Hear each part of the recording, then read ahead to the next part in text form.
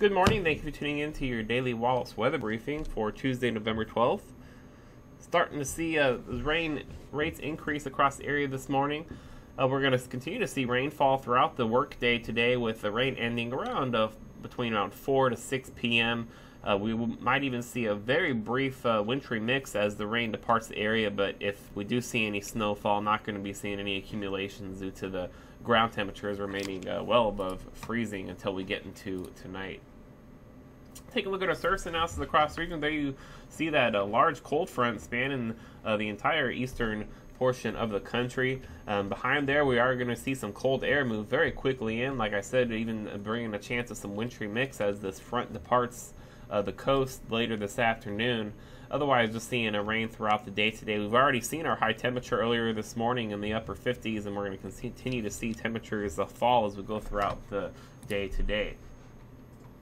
Taking a brief look at our upper level winds, uh, as of 12Z or 7 a.m., our, our, freezing level is actually pretty high, around 10,000 feet, but that's going to uh, fall pretty quickly as we go throughout the day today.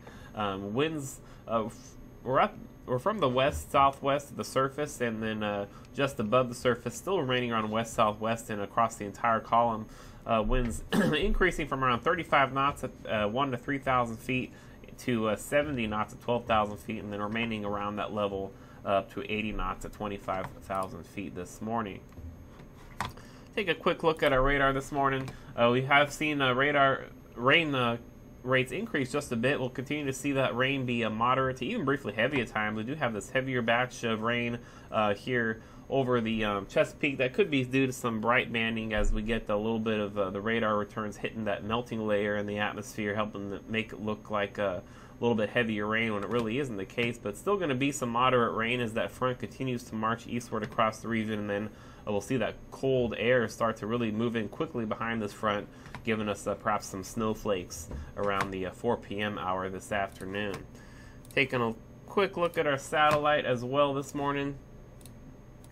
We're going to uh, just see uh, continued cloudiness throughout the day today. Uh, those clouds will continue to thicken and uh, ceilings lower as we get that front moving closer to the area and those rain rates increasing. I already see some of that uh, clearing with that drier air moving in across the western Virginia as that uh, very cold air has moved in behind that, and we'll see that quick quick clearing tonight as well once that front departs off the coast. So for today, going to be uh, seeing those temperatures continue to fall throughout the day today, uh, becoming into the uh, lower 40s by the afternoon hours, and uh, winds are going to be turning more northwesterly as we go towards the afternoon, becoming 13 to 18 knots and gusty, looking around a 70% chance of seeing a wind advisory this afternoon, and uh, seeing those winds then shift northerly as that front departs around uh, 10 to 15 knots by this evening, and then shifting more northwesterly once again overnight. We'll see those breezy winds uh, continue throughout the overnight hours, re- remaining uh, retaining a chance of a wind advisory throughout the overnight hours, and you can see those temperatures are really going to fall, especially once that front um, moves east of the area and that cold, dry air moves in. See, expecting a low of 26 degrees tomorrow, and combine that with those uh, somewhat breezy winds, we could be seeing a slight chance of that wind chill dropping as low as around 10 degrees uh, by mid morning tomorrow. Uh, we are going to be seeing those rains continue becoming more moderate as we go towards this afternoon, perhaps even briefly heavy at times, and then, like I said, perhaps seeing a very brief switch over to some wintry mix as that front leaves before we start to see things clear up quickly. Taking a look at our terminal forecast, going to be seeing those ceilings continue to lower as we go throughout the morning hours and into the afternoon. By lunchtime, seeing those ceilings as low as about a thousand feet as those clouds begin uh, continue to thicken and rain rates uh, slowly increase, possibly becoming as low as 500 feet as we go towards the afternoon hours when we expect the heaviest rain in the area. Then once that front departs at about five, we'll start to see those clouds break up, um, becoming just scattered at 2,500, broken at 10,000 feet and broken at 25,000 just after sunset. And then once we get to midnight, we are going to see those clouds really clear out, becoming uh, mostly clear after midnight, and then uh, just a few clouds at 25,000 feet expected by the mid morning hours of Wednesday. So let's take a look at uh, some model output for today. Here's a short-term model to show how this front's going to progress across the region with the rainfall. Seeing some uh, light rain right now, and that'll continue for the next couple of hours. But then we'll go into the afternoon hours, and that's when we'll expect those uh, higher rain rates with some moderate to brief heavy rain.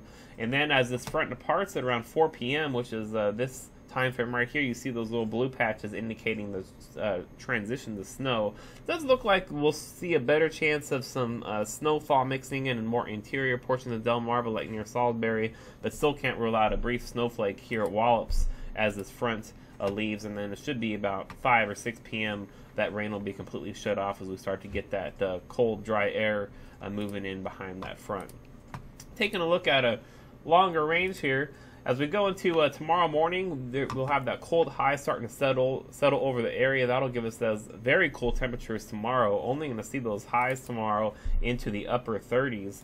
And as we go into Thursday morning, we'll still see that cold air lingering with some lighter winds. That'll help to drop those temperatures back into the upper 20s again. So expect uh, two nights in a row here of uh, sub-freezing temperatures across the region.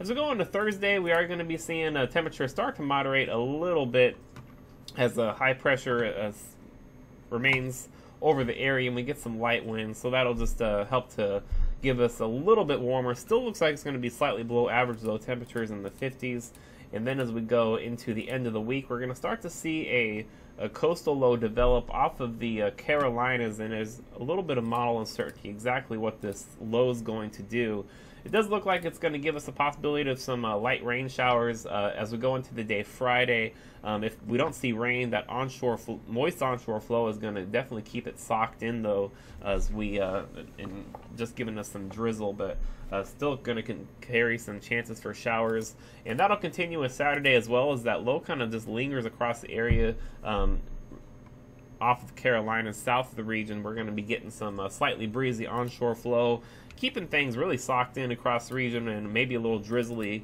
and uh, with some shower chances on Saturday as well. Then as we go into the early parts of next week, that low will finally start to depart the area and uh, possibly getting some most some uh, partly sunny skies returning to the area. But it does look like with that low giving us some onshore flow, we can expect some uh, cloudy conditions as well as some slight chances for showers as we go into this weekend.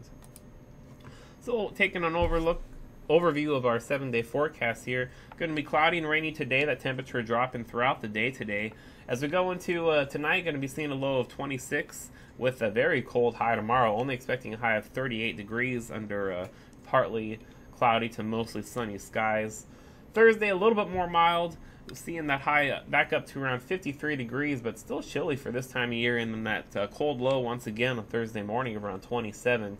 Friday, we'll start to see more of a, a, uh, southeasterly flow develop, and that'll help to moderate things a bit with that low all the way up to around 44. Looks like we'll see that uh, low temperature early in the evening, uh, Thursday night into Friday, and then temperatures rising throughout the day Friday, expecting a high Friday of 49, and really those highs are going to remain in the upper 40s uh, near 50 degrees from Friday through Sunday as that low pressure system that we just talked about kind of lingers just to the south of the region and off the coast, giving us that uh, mild or that uh, moist onshore flow with those uh, chances for isolated showers and drizzle and continued cloudy conditions as well. Also going to be a little bit breezy, especially along the immediate coastline with that pressure gradient associated with that uh, low to the south and high pressure well to the north.